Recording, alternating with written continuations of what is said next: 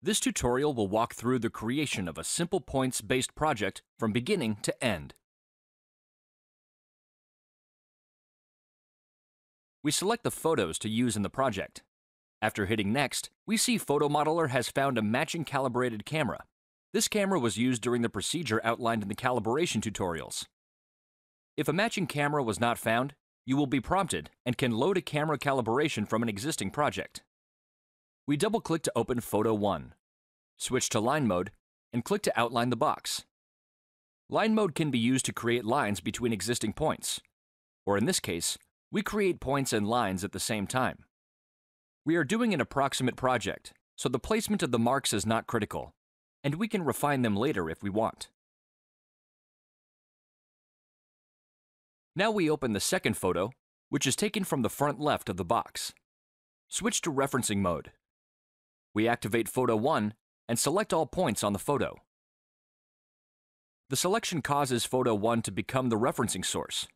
The blue box around the edge indicates that this is now the source. We move over Photo 2 and click on the location corresponding to the point highlighted in yellow. To help locate the source point, a rubber band line is also drawn between the cursor and the yellow reference source point.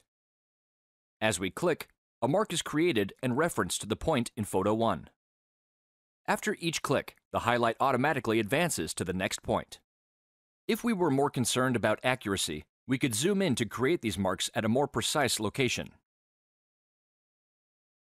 The minimum number of references has now been met, and automatic processing has run, solving the camera positions for Photo 1 and 2.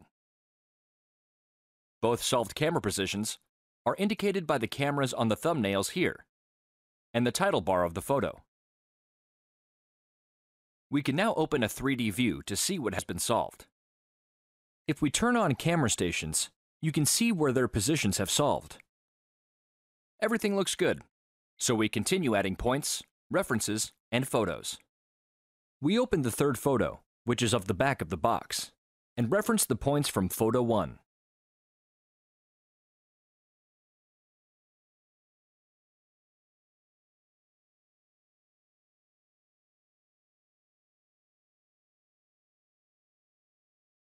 This point cannot be seen on this photo, so press the Escape key to advance to the next point.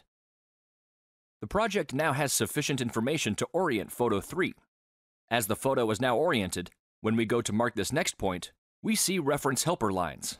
This point is already marked on two other photos, so we have two lines. If the project is solving correctly, the point's location should be close to the intersection of these lines. See the reference mode tutorial for more information. The next point is marked on only one photo, so we only have one helper line. We mark it here. We have now referenced all the visible points on photo 1 with photos 2 and 3.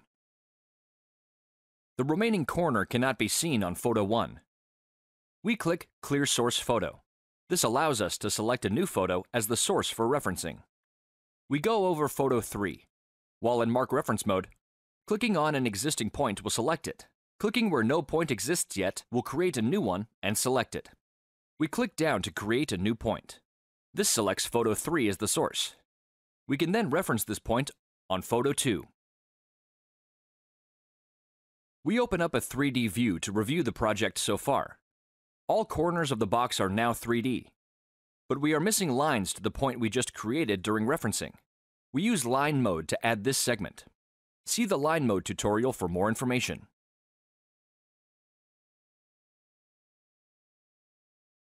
We will save this project as wireframe.pmr.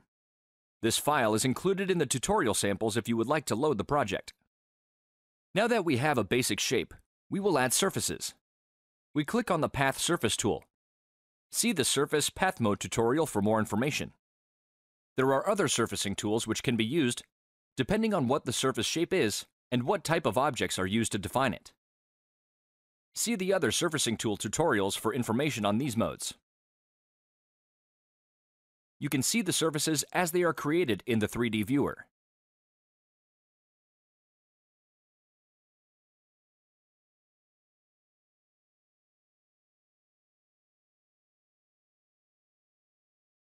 You can see surfaces and photos if we turn on projections.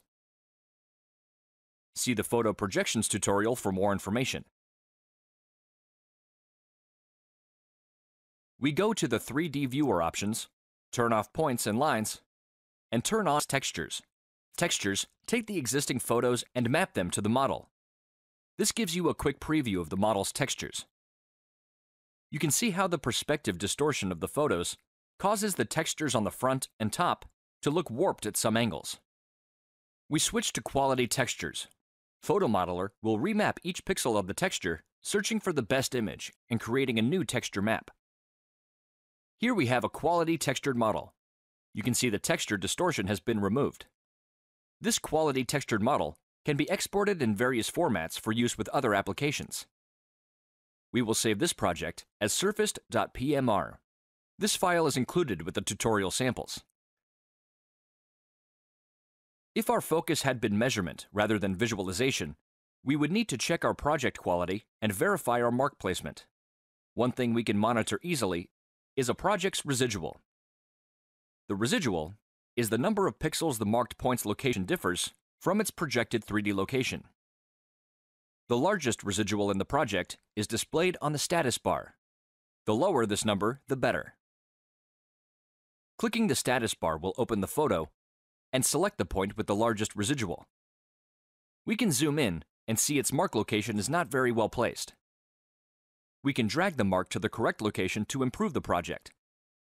You can review the residuals of all points in your project using a quality point table or using the project review pane and status icon to see metrics that are over defined thresholds.